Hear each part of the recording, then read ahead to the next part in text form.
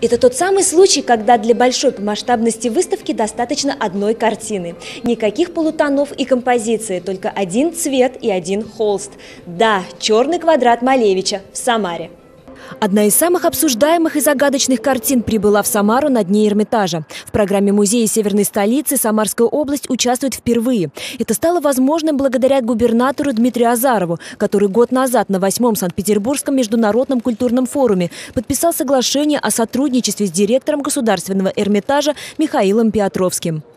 Конечно, э, в рамках соглашения мы планируем и выставочную деятельность, мы планируем деятельность по обмену опытом.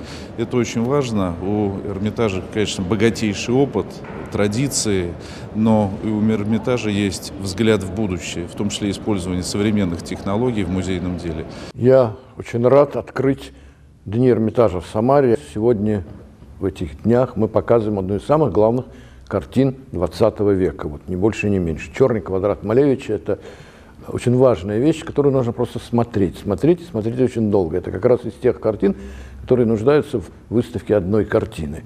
То, что первым на дне Эрмитажа в Самару приехал именно Малевич, не случайно. Долгое время этот черный квадрат в тайне хранился в городе. В этом году, э, когда зашел разговор о том, какое произведение привести, мы э, понимаем, какой у нас авангард, что это бренд региона. На встречу к нашему авангарду приехал «Черный квадрат». Но еще этот год и юбилейный для Анетты Якриной Бас, ей в этом году было бы 90 лет. И она в свое время очень мечтала, чтобы «Черный квадрат» поселился в нашем музее. Известно, что Казимир Малевич создал четыре версии «Черного квадрата», но из-за пандемии увидеть этот шедевр сейчас можно только здесь, в Самаре. Во-первых, Свердловская галерея закрыта для посетителей, московские музеи закрылись, в Петербурге музеи работают э, с, ограничением по э, количеству людей, которые находятся. Но самое главное не в этом, а самое главное, что там простроены музейные маршруты таким образом, что вот э, в русском музее действительно нельзя подойти к черному квадрату. Поэтому только, только в Самаре, только у нас.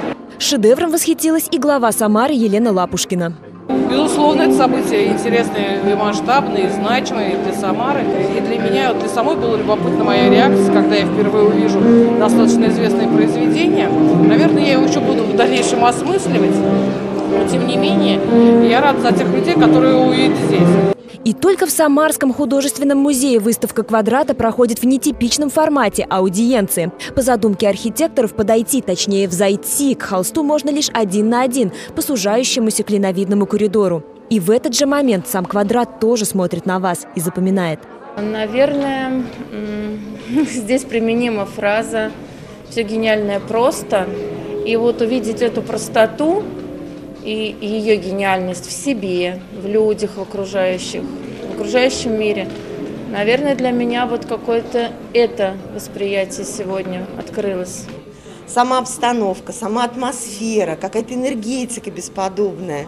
Вот действительно как будто прикоснулись к какому-то ну, уникальнейшему явлению – ну, собственно, так и есть.